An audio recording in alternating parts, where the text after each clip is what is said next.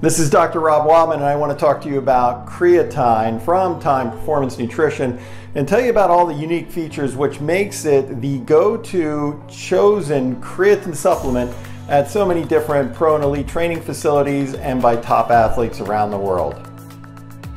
Creatine is a micronized creatine monohydrate supplement brought to you by TYM and it is an absolute must for anybody who is trying to build mass, anybody who's trying to build strength and get leaner from resistance training, as well as a, a whole host of strength power athletes that can benefit from supplementation. I'm going to tell you a little bit about what makes TYM Creatine so unique among other creatine products. Number one, it's scientifically formulated with full transparency.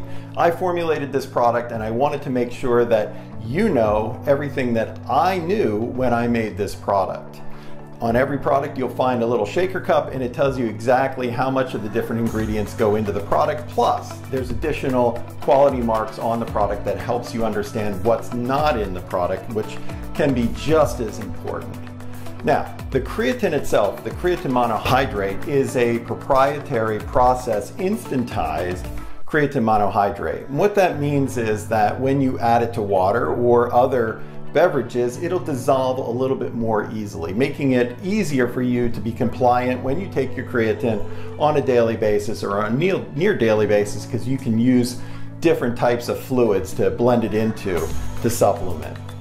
Now, Let's talk a little bit about what creatine does. Creatine, when you supplement it, or creatine from food, when it's in the body, it will enter muscle. Most of the creatine within the body is within the muscle. And in the form of creatine phosphate, it serves as a really important anaerobic energy resource for the first few seconds of really high intensity efforts such as lifting weights or sprinting.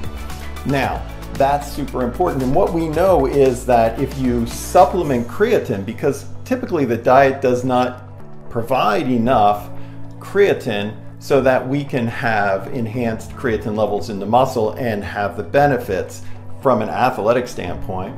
So it over time, creatine supplementation will elevate the creatine phosphate levels in the muscle until the muscle becomes saturated. Now, when it's in the muscle and when it's to be used, the creatine phosphate interacts with magnesium. And magnesium helps stabilize the creatine phosphate, making it easier for the enzymes that are going to process it for energy, making it easier for the creatine phosphate to be used. We formulated our creatine with magnesium. And that's important because in the muscle you get that nice creatine phosphate and magnesium complex.